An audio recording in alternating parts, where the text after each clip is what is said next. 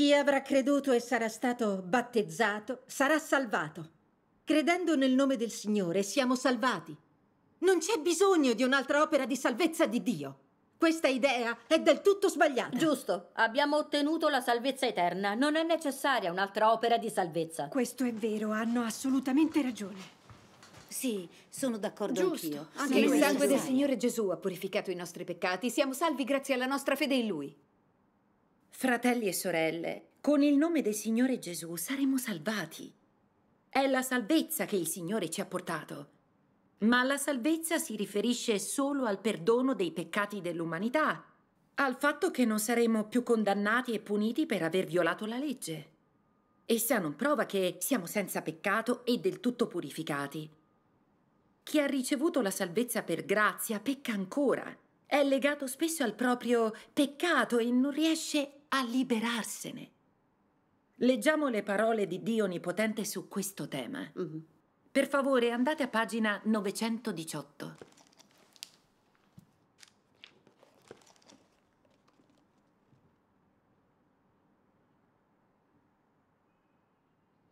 All'epoca l'opera di Gesù era la redenzione di tutta l'umanità. I peccati di tutti coloro che credevano in Lui venivano perdonati. Bastava credere in Lui perché Egli ti redimesse. Se credevi in Lui non eri più un peccatore. Venivi liberato dei tuoi peccati. Questo è ciò che significava essere salvati ed essere giustificati per mezzo della fede. Eppure, in coloro che credevano rimaneva ciò che era ribelle e contrario a Dio e doveva lentamente essere rimosso. La salvezza, infatti, non significava che l'uomo fosse stato completamente guadagnato da Gesù, ma che non era più sotto il dominio del peccato. Per favore, andate ora a pagina 1200.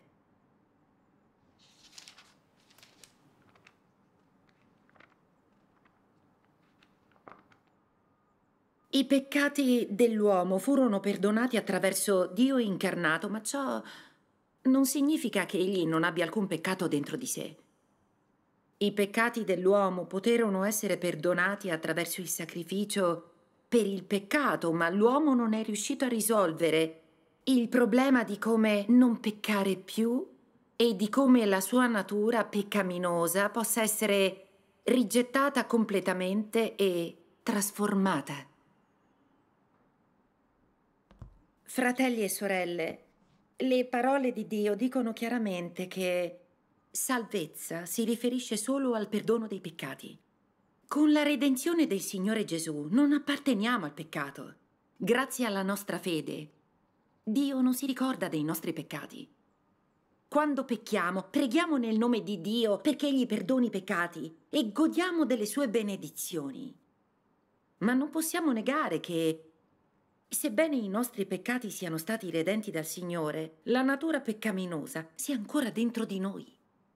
Abbiamo ancora indoli arroganti, egoiste, ingannevoli, avide e malvagie. Seguiamo le tendenze malvagie del mondo. Viviamo per amore di fama, prestigio e ricchezza. Ogni giorno pecchiamo e confessiamo, confessiamo e pecchiamo. Anche chi ha letto con fervore la Bibbia non riesce a liberarsi dalle catene del peccato. Perciò oggi come possiamo dire di essere davvero purificati? La santificazione senza la quale nessuno vedrà il Signore. Lo dice la Bibbia. Come possiamo dire di essere stati guadagnati da Dio e aver ricevuto la salvezza? L'opera del Signore Gesù ha risolto il problema della nostra morte a causa dei peccati, ma non ha risolto il problema alla radice dei peccati. Quindi pecchiamo ancora e resistiamo a Dio di frequente. Siamo suoi nemici. Se vogliamo essere del tutto guadagnati da Dio, Egli deve compiere un'altra fase dell'opera di purificazione e di salvezza. Ah, siamo stati salvati, ma la radice del nostro peccato esiste ancora. Non riusciamo ad abbandonare il peccato. Non siamo stati ancora guadagnati da Dio. Esatto. Esatto. Non c'è da stupirsi se pecchiamo ancora. Dio deve compiere un'altra fase della sua opera di salvezza. Sì, Sì, giusto. giusto. Sia ringraziato il Signore. Ora capisco. Dicendo questo, non neghi la salvezza del Signore? Sebbene le persone pecchino ancora, se facciamo affidamento sul nome del Signore Gesù, possiamo essere purificati. Non c'è bisogno di nessun tipo di nuova opera. Il Signore Gesù ha il potere di redimerci. Tramite Lui possiamo essere purificati. Giusto, se aderiamo alla via del Signore, saremo purificati. Fratelli e sorelle, il Signore Gesù ha completato l'opera di redenzione e ci ha salvati dal controllo di Satana. Siamo redenti dai peccati tramite il Signore e salvati per la nostra fede. Ciò è una prova inconfutabile dell'opera di Dio e nessuno può negarlo. Ma il Signore Gesù ci ha soltanto redento dai nostri peccati. Non ha eliminato la nostra natura peccaminosa. Facendo affidamento sul nome di Gesù, siamo perdonati per i peccati e salvati per grazia. Non siamo liberati dal peccato e resi puri. Se dobbiamo essere del tutto guadagnati da Dio, è necessaria un'altra fase della sua opera di salvezza. Come viene detto nella Bibbia, che dalla potenza di Dio mediante la fede siete custoditi per la salvazione che sta per essere rivelata negli ultimi tempi. Leggiamo altre parole di Dio Onnipotente. Andiamo a pagina 4.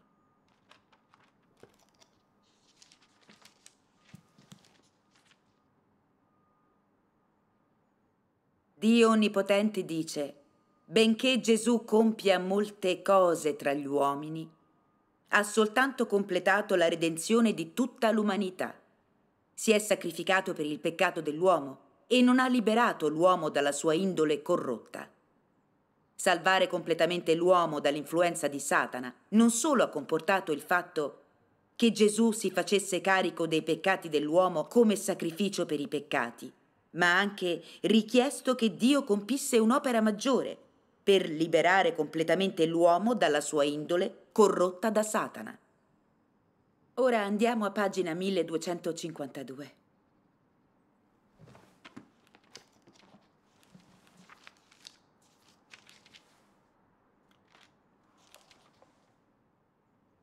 È vero che sei stato salvato da Gesù ed è vero che non sei considerato peccatore grazie alla salvezza di Dio. Ma questo non dimostra che tu non sia peccaminoso e non sia impuro. Come puoi essere santo se non sei stato trasformato?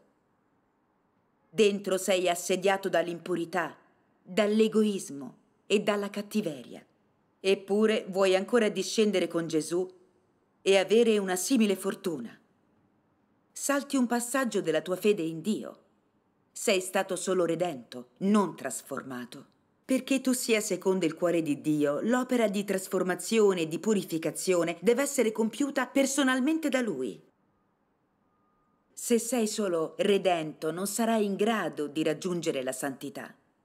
Di conseguenza, non sarai qualificato per prendere parte alle sante benedizioni di Dio, perché hai saltato un passaggio nell'opera di Dio per la gestione dell'uomo, ossia il passaggio principale per la trasformazione e la perfezione Pertanto tu, peccatore che è stato solo redento, non puoi ricevere direttamente l'eredità di Dio. Fratelli e sorelle, il Signore Gesù ha compiuto solo l'opera di redenzione, non quella di eliminazione della nostra natura peccaminosa. Se facciamo affidamento sul nome del Signore, non abbandoniamo il peccato, non siamo purificati. Per quanto grande sia la nostra fede e il bene che ricerchiamo, non otteniamo un cambiamento di indole. Ora ripensiamo al passato. Nei duemila anni dall'opera del Signore Gesù, chi crede davvero nel Signore pensa di staccarsi dal peccato tramite il nome del Signore Gesù ed essere salvato. Alcuni lottano tutta la vita per vincere se stessi, abbandonare la carne e per affrontare le loro impurità. Alla fine nessuno ha testimoniato di aver abbandonato il peccato ed essersi purificato. Dico bene? Possiamo solo ottenere il perdono dei peccati tramite il nome del Signore Gesù, ma non possiamo essere purificati. Quindi, negli ultimi giorni, Dio compie una fase più profonda dell'opera di salvezza con il nome di Dio Onnipotente. Giusto. Ora comprendo che abbiamo Quindi è veramente di necessaria un'altra fase dell'opera di salvezza, dell'opera di Dio. salvezza di Dio. Esatto. Sì. Oh Signore, comprendo che quello che dicono è perfettamente ragionevole. Non abbiamo ancora abbandonato i peccati e non siamo davvero degni di vedere il tuo volto. Ma davvero, al tuo ritorno, potresti cambiare il tuo nome? Dio Onnipotente, è veramente il tuo ritorno? Oh Signore, ti supplico di illuminarmi. Avete una base biblica per dire che il suo nome sarà Dio Onnipotente? Fratelli e sorelle, sono traditori del Signore Gesù. Non li ascoltate. Giusto. Fratelli e sorelle, il nome Dio Onnipotente negli ultimi giorni fu profetizzato tanto tempo fa. Possiamo scoprirlo tramite un'attenta analisi. Ora leggiamo Apocalisse 1:8. Io sono l'Alfa e l'Omega, dice il Signore Dio, che è, che era e che viene, l'Onnipotente. Ora passate al capitolo 11, 16, 17. E i 24 anziani, seduti nel cospetto di Dio sui loro troni, si gettarono giù sulle loro facce e adorarono il Dio dicendo Noi ti ringraziamo, o Signore Dio Onnipotente, che sei e che eri, perché hai preso in mano il tuo grande potere e hai assunto il regno. Ciò fu profetizzato anche in Apocalisse 4.8, 16.7, 19.6 e in molti altri passi della Bibbia. Il nome di Dio negli ultimi giorni è onnipotente, cioè Dio onnipotente. Non occorre leggere tutto. È vero, è tutto è così chiarissimo nel libro dell'Apocalisse. Già. Guarda, Sì, esatto. Non pensavo ci fossero tante profezie. Già, la loro condivisione è davvero molto convincente. Lode al Signore. Lode al Signore. Non immaginavo che queste profezie citassero così chiaramente Dio Onnipotente. La scrittura è estremamente chiara. Oh Signore, possibile che tu sia davvero tornato? Fratelli e sorelle, Hanno Dio è molto saggio e ogni singola cosa che fa ha una grande importanza. Il nome Dio Onnipotente rappresenta completamente la sua opera e l'indole che egli esprime negli ultimi giorni. Se Dio non ci avesse personalmente svelato questi misteri, anche se abbiamo passato tanti anni a leggere la Bibbia, non li avremmo scoperti. Leggiamo insieme le parole di Dio Onnipotente. Andate a pagina 929. Dio Onnipotente dice, l'opera di Dio durante tutto il suo piano di gestione è perfettamente chiara. L'età della grazia è l'età della grazia. Gli ultimi giorni sono gli ultimi giorni. Ci sono evidenti differenze tra ciascuna età, perché in ogni età Dio compie l'opera che rappresenta quell'età. Per attuare l'opera degli ultimi giorni ci devono essere il fuoco, il giudizio, il castigo, l'ira e la distruzione per portare a termine le età. Gli ultimi giorni si riferiscono al periodo della fine. Durante questo periodo conclusivo non sarà Dio a mettere fine all'età? Per porre termine all'età, Dio deve portare con sé castigo e giudizio. Solo in questo modo egli può portare l'età al termine. Pagina 930.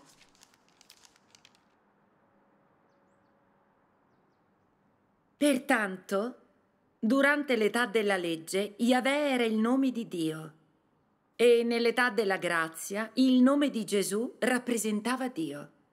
Negli ultimi giorni il suo nome è Dio Onnipotente, l'Onnipotente.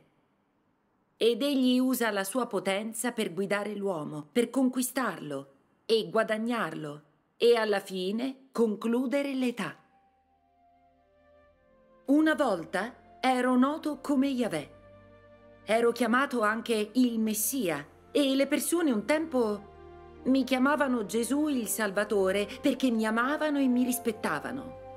Ma oggi non sono lo Yahweh o il Gesù che le persone conoscevano in passato. Sono il Dio che è ritornato negli ultimi giorni, il Dio che porterà l'età a una conclusione. Sono il Dio stesso che si leva ai confini della terra, ricolmo di tutta la mia indole e pieno di autorità, di onore e di gloria.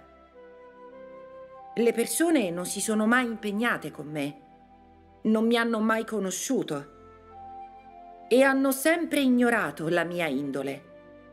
Dalla creazione del mondo fino a oggi, nessuno mi ha visto.